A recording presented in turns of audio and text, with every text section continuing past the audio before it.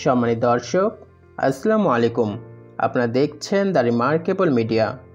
বাংলাদেশের সফররত ইউরোপীয় ইউনিয়নের পার্লামেন্টের সদস্য ম্যাক্সি মিলা ক্রা বলেছেন, ইউর বাজারে বাণিজ্য সুবিধা পেতে হলে বাংলাদেশের শ্রমমান ও মানবাধিকার পরিস্থিতির উন্নতির পাশাপাশি রপ্তানি করা পণ্যের বহুমুখীকরণও প্রয়োজন।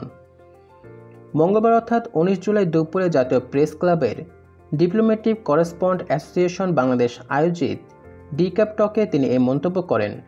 এ সময় ইইউ পার্লামেন্টের সদস্য হেইডি হাউটোলা উপস্থিত ছিলেন। ইউ বাজারে বাংলাদেশে মোট রপ্তানির আশি শতাংশই তৈরি পোশাক উল্লেখ করে ম্যাক্সিমিলা ক্রা বলেন, শুল্ক সুবিধা ধরে রাখতে হলে পণ্যের বৈচিত্র্য জরুরি। শুধু একটি পণ্যের উপর নির্ভরতা, সে সুবিধা পাওয়ার ক্ষেত্রে বড় বাধা হয়ে দাঁড়াতে পারে। আগামী সাত থেকে আট বছরের মধ্যেই তা করতে হবে। এ সময় তিনি পাট বহুমুখীকরণ সেন্টার পরিদর্শন করার কথা জানিয়ে বলেন, আমরা ওষুধ ও তৈরি পোশাক শিল্প পরিদর্শন করব। এছাড়া বাংলাদেশের গত পঞ্চাশ বছরের বিজনেস মডেলের উত্তরণের কথাও জানান তিনি।